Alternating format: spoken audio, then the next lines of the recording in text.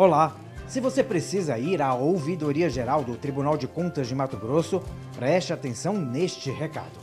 Por conta das obras de reforma e adequação que vêm sendo executadas em diferentes setores do TCE, o acesso temporário à Ouvidoria Geral deve ser realizado pela recepção do prédio administrativo.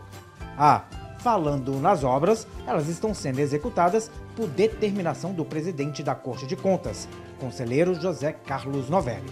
As melhorias estão sendo feitas com recursos próprios, provenientes da redução de custos de convênios firmados pelo órgão.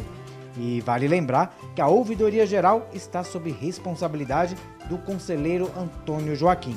A unidade recebe sete tipos de manifestações, sendo elas a solicitação, a reclamação, a sugestão, o elogio, a crítica, a comunicação de irregularidade e a denúncia. Então é isso. O acesso temporário à ouvidoria está sendo pela recepção do administrativo. Até mais, pessoal!